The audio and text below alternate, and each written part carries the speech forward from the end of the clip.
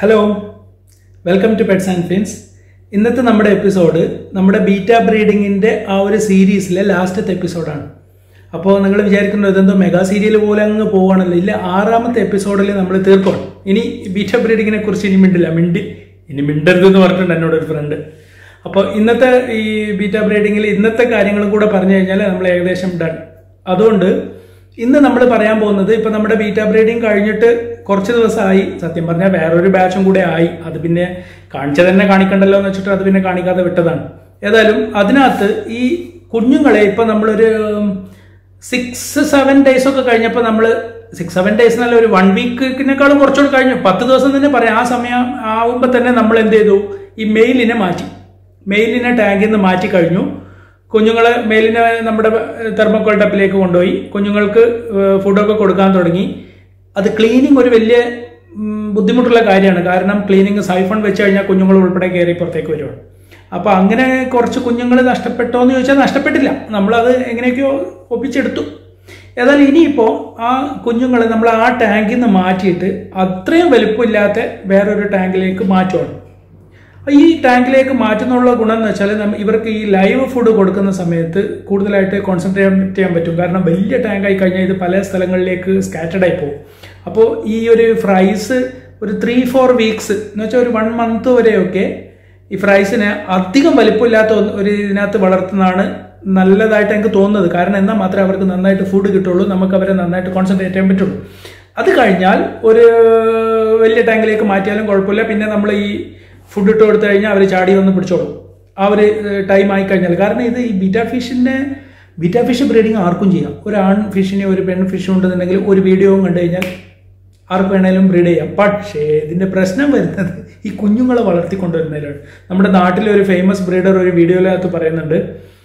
ഈ ഇത് ബ്രീഡായി കുഞ്ഞുങ്ങൾ ഉണ്ടായതിനു ശേഷമാണ് ഫോൺ ചെയ്യുന്നത് രാത്രി. ഹലോ ചേട്ടാ ഇതിനെന്ത് ഇതിനെന്താ തിന്നാൻ കൊടുക്കേണ്ടത് അപ്പോൾ അതുപോലും അറിയാതെയാണ് നമ്മൾ ബ്രീഡ് ചെയ്യുന്നത്. കാരണം ഓ ബീറ്റ ബ്രീഡിങ് ഇത്ര എളുപ്പമാണ് എന്നൊക്കെ പറഞ്ഞ് വീഡിയോ കാണുമ്പോൾ ആ ഒരു രസത്തിന് എല്ലാവരും കയറി അങ്ങ് ബീറ്റ ബ്രീഡ് ചെയ്യും. ബ്രീഡ് ചെയ്ത് കുഞ്ഞുങ്ങളായിട്ടാണ് പിന്നെ ഇതിന് എന്തോ തിന്നാൻ കൊടുക്കുന്ന അറിയാതെ അന്തം വിടുന്നത് അപ്പോൾ ആ ഒരു കണ്ടീഷനിലേക്കൊന്നും എത്തരുത്. നമ്മൾ ഫുഡ് എന്തൊക്കെയാണ് കൊടുക്കേണ്ടതെന്നുള്ളത് ഞാൻ കഴിഞ്ഞ വീഡിയോക്കകത്ത് പറഞ്ഞായിരുന്നു. എന്നാലും പറയാണ് ആദ്യത്തെ ടു ത്രീ ഡേയ്സ് ഇൻഫോസൂരിയ അത് നമ്മളായിട്ട് പ്രത്യേകിച്ച് ചോദിച്ചൊന്നും കൊടുക്കേണ്ട. അതിനകത്ത് ബദാം ലീഫ് ഇട്ട് കഴിഞ്ഞാൽ അവർക്ക് തന്നെ കിട്ടിക്കോളും. ആ ഒരു ഫോർ ഫൈവ് ഡേയ്സ് അത് മാത്രമേ അവർ തിന്നുള്ളൂ. അതിനുള്ള സൈസേ ഉള്ളൂ. കാരണം അവർക്ക് ഈ ചെറിയ ഫ്രൈസിന് ബ്രാൻഡ് ഷ്രിമ്പ് ഒന്നും കഴിക്കാനുള്ള വായില്ല. അത്രയും വലിപ്പം ഉണ്ടാവില്ല പിന്നെ നമ്മൾ ബ്രാൻഡ് ഷ്രിമ്പ് കൊടുക്കാൻ തുടങ്ങുന്നു. പിന്നെ കുറച്ച് കുറച്ചായിട്ട് ബാക്കി ലൈവ് ഫുഡുകളും ഇൻട്രൊഡ്യൂസ് ചെയ്യാം. പിന്നെ ഫ്രോസൺ ഫുഡ് ഇൻട്രൊഡ്യൂസ് ചെയ്യാം. ഈ മിക്കവാറും പിന്നെ ഫ്രൈസ് നമ്മൾ ഇത് എന്താ അതിന്റെ പൊടി എന്തോന്നാ പറയുക? പെല്ലറ്റ് തീറ്റയൊന്നും കൊടുത്തു കഴിഞ്ഞാൽ അതൊന്നും അത് കഴിക്കില്ല. അപ്പോൾ മിക്കവാറും ആൾക്കാർക്ക് ഈ ബീറ്റ ബ്രീഡിങ് ചെയ്തിട്ട് ഫെയിൽ ആവുന്നതും ബീറ്റ ബ്രീഡിങ് ചെയ്തിട്ട് കുഞ്ഞുങ്ങളെ കിട്ടാതാവുന്നതും കുഞ്ഞുങ്ങൾ ഓ വലിയ ബ്രീഡിംഗ് ഒക്കെ നടത്തി ഭയങ്കര വിജയമായിരുന്നു എന്നൊക്കെ ഫേസ്ബുക്കിലൊക്കെ പോസ്റ്റ് ഇടും. എന്നാൽ പിന്നെ എന്തായടാ എത്ര എത്ര കുഞ്ഞുങ്ങളുണ്ടെന്ന് വെച്ചാൽ അഞ്ച് പത്തെണ്ണേ ഉള്ളൂ എന്ന് പറയും. അഞ്ച് പത്തൊന്നും അല്ല അമ്പതിന് മേലെ ഉണ്ടായതാണ്. പിന്നെ അത് നോക്കാഞ്ഞിട്ടെല്ലാം ചത്തുപോയതാണ്. അതാണ് സംഭവം. ഈ ബീറ്റ ബ്രീഡിങ്ങിൽ കുഞ്ഞുങ്ങൾ ചത്തുപോയി കഴിഞ്ഞാൽ നമുക്ക് കാണാൻ വരെ പറ്റില്ല. അത് പൊടിയാണെന്ന് തോന്നുള്ളൂ. അത്രയും ചെറുതാണ്.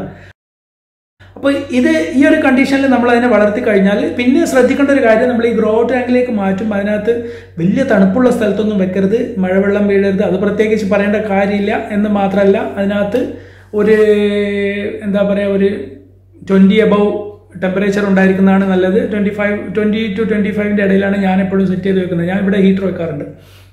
അത് കൂടാതെ നമ്മൾ ഇതൊക്കെയാണ് കൊടുക്കേണ്ട ഫുഡ് പിന്നെ വെള്ളം water change weekly water change ചെയ്യുവാണെങ്കിൽ ഒരു ട്വന്റി ഫൈവ് പെർസെന്റേജ് പക്ഷേ അതിൽ നല്ലൊരു മെത്തേഡ് എന്ന് വെച്ചാൽ നമ്മൾ ഇത് അധികം അതിൽ എന്താ പറയുക കപ്പിട്ട് ഇളക്കാനൊന്നും പോവാതെ ജസ്റ്റ് അതിൽ നിന്ന് ഒരു രണ്ട് കപ്പ് എടുത്ത് മാറ്റി വേറെ രണ്ട് കപ്പ് വലിയ സൗണ്ട് ഇല്ലാതെ മെല്ലെ ഒഴിച്ചു കൊടുക്കും അങ്ങനെയാകുമ്പോൾ ഫ്രൈസിനും ഹാപ്പിയാണ് വെള്ളത്തിനും പ്രശ്നമില്ല പിന്നെ പ്ലാൻസ് ഉണ്ടെങ്കിൽ പ്ലാൻസ് നിർബന്ധമൊന്നുമില്ല. എന്നാൽ പ്ലാൻസ് വെക്കുവാണെന്നുണ്ടെങ്കിൽ അതിന്റെ ലീഫൊക്കെ ചെയ്യുമ്പോഴും അങ്ങനെ ഇങ്ങനെയൊക്കെ അതിൽ നിന്ന് ചെറിയ ഇൻഫോസൂരിയ പോലുള്ള മൈക്രോ ഓർഗാനിസത്തിനൊക്കെ ഈ ചെറിയ ഫ്രൈസിനൊക്കെ കിട്ടും. പിന്നെ ഇതിൽ ഈ ബീറ്റയുടെ കാര്യത്തിൽ പറയാനുള്ളത് എന്ന് വെച്ചാൽ പിന്നെ ഇതിന്റെ ജാറിങ് ആണ്. ജാറിങ് എന്ന് പറഞ്ഞാൽ അതിനെ പിടിച്ച് മാറ്റി വെക്കണമല്ലോ ഇത് ജാറിങ് എന്ന് പറഞ്ഞാൽ നാട്ടിൽ നമ്മുടെ ചില ആൾക്കാർ ചെയ്യുന്നത് മറ്റേ യൂസ് ആൻഡ് ത്രോ കപ്പൊക്കെ വാങ്ങിയിട്ടൊക്കെയാണ് എഴുതുന്നത് അതൊക്കെ ശരിക്കും ഉപദ്രവമാണ്. അങ്ങനെയൊന്നും ചെയ്യരുത്. കുറച്ച് വലുത്. അത് ഞാനിത് പറയാൻ കാരണം എന്ന് വെച്ചാൽ വിൽക്കാൻ വേണ്ടിയിട്ട് ഇത്. പിന്നെ കൊണ്ടുപോയി വളർത്തുന്നവരെ ഒരിക്കലും അങ്ങനെ വളർത്തരുതെന്ന് ഞാൻ നമ്മുടെ ഫസ്റ്റ് എപ്പിസോഡിൽ പറഞ്ഞതാണ്. ഒന്നാമത്തെ എപ്പിസോഡിൽ അതായിരുന്നു നമ്മൾ പറഞ്ഞത് നമ്മൾ ഒരിക്കലും അങ്ങനെ ഒരു ജീവിയെ ഉപദ്രവിക്കരുത്. ഈ പിന്നെ അനങ്ങാൻ കഴിയാതെ കെട്ടിയിട്ട പോലെ നമ്മൾ ഒരു ജയിലിലിട്ട പോലെ ഒരു ജീവിയെ വളർത്തരുത്. അങ്ങനെ വീട്ടിനകത്ത് ഒരു ജീവിയെ വെക്കുന്നത് തന്നെ ഒരു ലക്ഷണക്കേടാന്നേ ഞാൻ പറയുള്ളൂ. കാരണം അതിനൊരു സ്വാതന്ത്ര്യം കൊടുക്കാതെ നമ്മൾ എന്തിനാണ് അങ്ങനെ വളർത്തുന്നത്? ഇത് ഫസ്റ്റ് വീഡിയോ കണ്ടപ്പോൾ എന്റെ ഒരു ഫ്രണ്ട് പറഞ്ഞത് അത് എനിക്ക് ഇങ്ങനെയൊക്കെ പറയാം. ബീറ്റൈനെ ബ്രീഡ് ചെയ്ത് ഇരുന്നൂറ് മുന്നൂറ് നാനൂറും ഒക്കെ കുഞ്ഞുങ്ങൾ ഉണ്ടാകുന്നവർക്ക് നാലും അഞ്ചും ബാച്ചിലൊക്കെ ആയിട്ട് ആയിരത്തോളം കുഞ്ഞുങ്ങൾ ഉണ്ടാകുന്നവരൊക്കെ അഞ്ച് ഗാലൻ വാട്ടർ കൊണ്ടുപോയ പോകാൻ പറഞ്ഞു കഴിഞ്ഞാൽ എന്തോ ചെയ്യും. അപ്പൊ കുപ്പിയിലിടാനേ പറ്റും. ഞാൻ പറഞ്ഞു ഞാൻ ബ്രീഡേഴ്സിന്റെ കാര്യമല്ല പറഞ്ഞത് ഒന്നാമത്തെ വീഡിയോയിൽ പറഞ്ഞത് ബീറ്റ ഷോപ്പിൽ നിന്ന് വാങ്ങിക്കൊണ്ടുപോയി വീട്ടിൽ വെക്കുന്നവരുടെ കാര്യമാണ്. അവരെന്തിനാ കുപ്പിയിൽ വെക്കുന്നത്? അവർക്കൊരു അറ്റ്ലീസ്റ്റ് ഒരു നല്ല ബൗളെങ്കിലും വെച്ചൂടെ എന്നാണ് ഞാൻ ചോദിച്ചത്. അല്ലാതെ ഷോപ്പിൽ വെക്കുമ്പോൾ ബീറ്റ അങ്ങനെ മാത്രമേ വെക്കാൻ പറ്റുള്ളൂ. വേറെ മാർഗമില്ല. ബ്രീഡേഴ്സിന്റെ കയ്യിലും അങ്ങനെ മാത്രമേ വെക്കാൻ പറ്റുള്ളൂ. കപ്പിനകത്തേ വെക്കാൻ പറ്റുള്ളൂ. കാരണം അത് അതിന്റെ സ്വഭാവം അതാണ്. ആ ഫിഷിന്റെ സ്വഭാവം അങ്ങനെ ആയിപ്പോയി. അതുകൊണ്ടാണ് അവർക്ക് അധികം സ്പേസ് നമുക്ക് കൊടുക്കാൻ പറ്റാത്തത്. അപ്പോൾ എന്തായാലും ഒരു നയൻ ടു ടെൻ വീക്സ് ഒക്കെ ആകുമ്പോൾ നമ്മൾ മിക്കവാറും ഇതിനെ ചാർജ് ചെയ്യേണ്ടി വരും. കാരണം ഇതിനെ മാറ്റിയിടേണ്ടി വരും. കാരണം ഇല്ലെങ്കിൽ മെയിൽസ് എല്ലാം കൂടെ കടിപിടി കൂടാൻ തുടങ്ങുന്ന ഒരു ടൈം ആവും. ഒരു ടു ടു മന്ത്സ് എന്നൊക്കെ പറയുമ്പോൾ ടു മന്ത്സ് തന്നെ ആവില്ല. അതിന് മുമ്പ് തന്നെ തുടങ്ങും. ആ കളറൊക്കെ ഒന്ന് വന്നു കഴിഞ്ഞാൽ തന്നെ ഇവർ തനി സ്വഭാവം കാണിക്കാൻ തുടങ്ങും.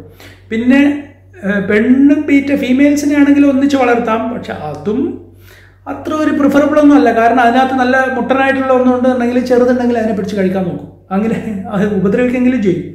അപ്പോൾ എന്തായാലും ജാരിങ് നല്ലൊരു ഓപ്ഷനാണ് പിന്നെ എന്ന് പറഞ്ഞാൽ ഞാൻ പറഞ്ഞില്ല ബീറ്റ ബ്രീഡിംഗ് എന്ന് പറഞ്ഞാൽ നല്ല ഒരു വരുമാന മാർഗം കണ്ടെത്താൻ പറ്റിയ ഒരു ഇതാണ്. എന്നാൽ അധികം പിന്നെ ബുദ്ധിമുട്ടില്ലതാണ്.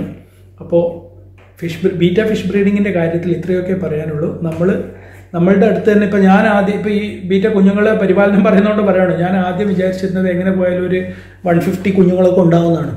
അവസാനം വന്ന് നോക്കുമ്പോൾ ഹൺഡ്രഡിന് താഴെയേ ഉള്ളൂ. അത് എന്ത് കാരണം കൊണ്ടാണെന്നൊക്കെ നമുക്ക് ഇനി പഠിക്കേണ്ടിയിരിക്കുന്നു. പക്ഷെ അതിനൊന്നും അതിനൊന്നും നമ്മൾ മെനക്കെടേണ്ടതില്ല. നമ്മൾ അടുത്ത പാരൻസിനെ മാറ്റി വേറെ നല്ല പാരൻസിനെ ഇട്ട് അടുത്ത ബ്രീഡ് ചെയ്യാന്നുള്ളതേ ഉള്ളൂ. കാരണം ഇത് ബാക്കി വലിയ ഫിഷുകളെ പോലെയല്ല വളരെ എളുപ്പമാണ് ബ്രീഡ് ചെയ്യാൻ അപ്പോൾ പിന്നെ നമ്മൾ അടുത്ത ഒരു ഒരു ട്രയൽ ആൻഡ് എറിലേക്ക് പോകേണ്ട കാര്യമില്ല. അപ്പോൾ ബീറ്റ ബ്രീഡിങ്ങിനെ കുറിച്ചുള്ള ഈ സീരീസ് ഓഫ് എപ്പിസോഡ്സ് ആറ് എപ്പിസോഡ് എല്ലാവർക്കും ഇഷ്ടമായെന്ന് വിചാരിക്കുന്നു.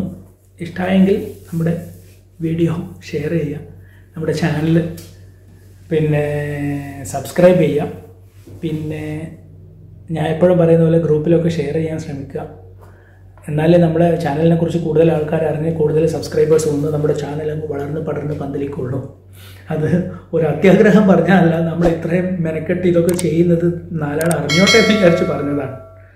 ഓക്കെ അപ്പോൾ ഇനി വേറൊരു എപ്പിസോഡിൽ കണ്ടുമുട്ടുമ്പോഴേക്കും ബൈ ബൈ